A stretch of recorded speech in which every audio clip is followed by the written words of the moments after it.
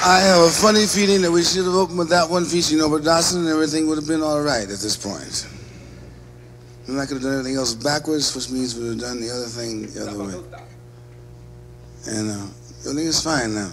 Now I'd like to play a composition entitled Once Upon a Time There Was a Holding Corporation by my standards. This not, does not put a political pressure on anyone in the band except me. Uh, once upon a time, there was a holding corporation called Old America. That means that, for instance, you can go to a liquor store, you can buy wine from France, from Italy. You can buy everything, you know, from every country but from Africa. That is to get high on. That's legal. And so I was thinking about that kind of thing. Nothing, not really saying that America don't make it, nothing like that, because I feel pretty free here. Uh, I mean, I, I don't feel confined or like that.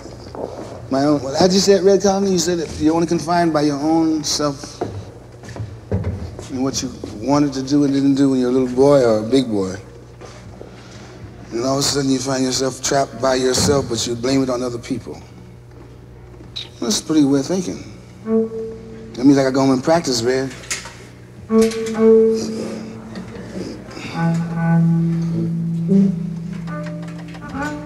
We'll try this competition. It's titled, I told you already.